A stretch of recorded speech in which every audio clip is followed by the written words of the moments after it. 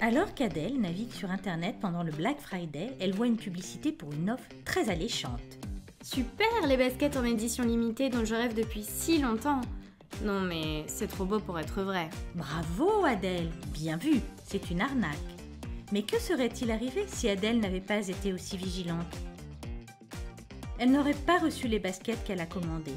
Et en plus, elle aurait communiqué des informations personnelles dont ses coordonnées bancaires pour réaliser le paiement en ligne. Les données personnelles sont échangées par les hackers. Adèle serait devenue la cible de fraude. Pour rappel, voici les bons réflexes à adopter pour éviter d'être fraudé. Ne communiquez jamais vos données personnelles et bancaires sans vous être assuré de la fiabilité du site.